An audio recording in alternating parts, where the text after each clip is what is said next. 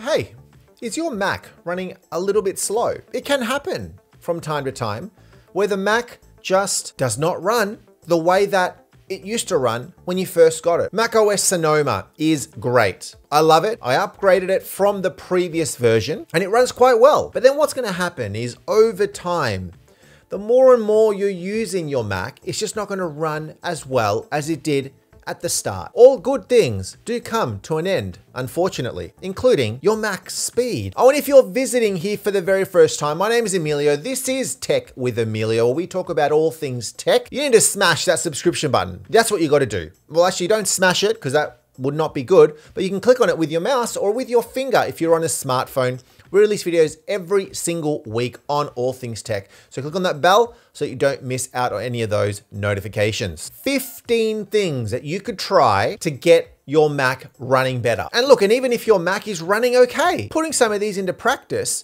will probably get it running even better than that. You got to check the activity monitor. You can find it by going into the spotlight and typing activity monitor. You can also go via the finder. But then once you open it up, you're essentially going to get a little snapshot on how your Mac is performing. How much is the CPU being used? How much is memory being used? How is the network performance? And then more specifically, what are the applications that are sucking up all of those resources? You may see some apps in there that you're going to go, huh, I didn't know that that was doing that thing. I don't actually need that, or I can close it off. And you can select some of those apps. You can force quit them as essentially close those apps from your Mac. So always keep an eye on the activity monitor. Now, when you open up your Mac, when you start up your Mac, behind the scenes, behind the curtains, there's all these apps that start up automatically. Did you know that? But there's stuff secretly behind the scenes sapping all of the resources, all of the energy from your Mac. You're going to want to go and open up the system preferences for this one and go to the general area and there are a whole bunch of your apps that are running in the background, logging things, things that start up automatically that you don't even know about. You don't want those to run in the background. You don't want those to start up. Turn them off, remove them. Now here's a two for one. Limiting stuff on your desktop. One, you're just gonna feel better because your desktop is just cleaner. It frustrates me. It's one of those, you know, people have got pet peeves.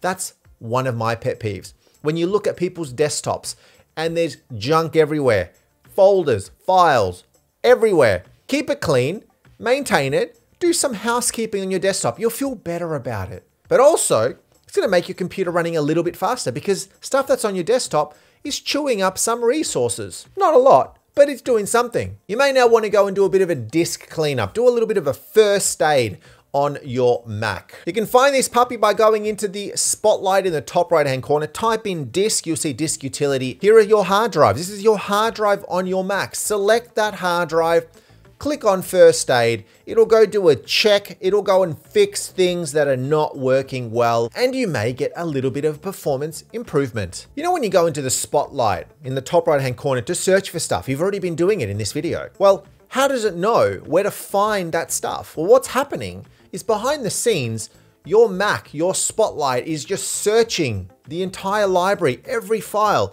and it's indexing things so that it knows when you're going to type in something to look for it, it can find a little bit faster. Well, sometimes that indexing doesn't work as well as it should. You can go into your system preferences right here, look for Siri and Spotlight, scroll down. So sometimes it's good to clear it out and start all over again. Let the whole Mac clear out all of the old search history, all of the indexing history, and start again. Why don't you look at offloading some storage? If you don't need stuff on your Mac, the reality is the more junk you've got on your Mac, the slower it's gonna run. It's just gonna be accumulating all of this stuff. And similar to the desktop one, this is a two for one. You remove old data, remove old things that you don't actually need. And once you're removing all of this sort of stuff, go and do the spotlight thing again, removing all of the spotlight stuff, go and do a disk cleanup again, See how that works. Do you want to get some improvements around your browser? Go and clear out your browser history. Go and clear out your caches or your caches from all of your browsers. If you're on Safari, Firefox, Google Chrome, there's different areas in all of these browsers. Go and clear that out. Your internet experience is just gonna be that little bit better. The next one is to reduce those visual effects. If you don't have any of these fancy stuff, all of these nice little graphics, which the Mac is very well known for, turn them off or reduce them. Going into your system preferences again, go into the desktop and dock area. Do you want that little fancy effect when you're hovering over the dock? No. Or turn off magnification. Minimizing your windows? Don't use the genie effect. Do you really need to animate your applications when they're opening? No, turn it off. You can also go to the accessibility section, into display, and look at toggling some of these things on and off. You won't be disappointed. You know, there's good reason why the Mac OS people, the people who make applications, release updates because of two things. One, because there's some security bugs, right? The other, they found a way maybe to run the application or to run Mac OS faster. So make sure that you're keeping your Mac up to date and your applications up to date. Clear out the cache or the caches, depending on where you're from, from your Mac. There's a few spots that you can do this from the Finder. Within the library section, there's a couple of spots, one that is hidden, one that is not hidden. Going and clearing this out, you'll see a little bit of an improvement. You'll probably need to restart your Mac when that is done. Now, this may remove some settings from some of your applications because it sort of keeps some information about how you've configured them.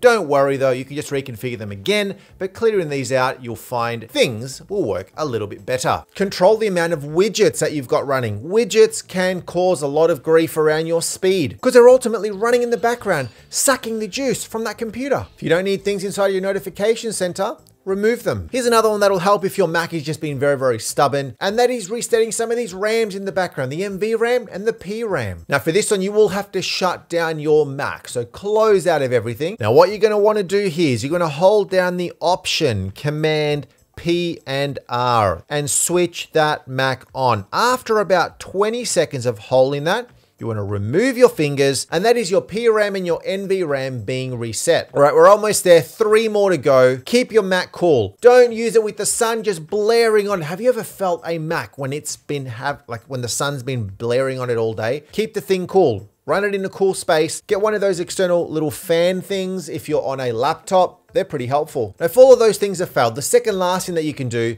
is uh, reinstall Mac OS. Remove everything, reinstall your Mac OS. Uh, I know you don't want to hear that, but sometimes things are so bad that you've got no other options than to reset your Mac and reinstall Mac OS. Sorry about that. So what if you've done all of that and it just still hasn't worked? Uh, what can you do? You're gonna have to pump it with some more RAM, maybe. You go buy some more RAM from the computer store. You may need a new Mac.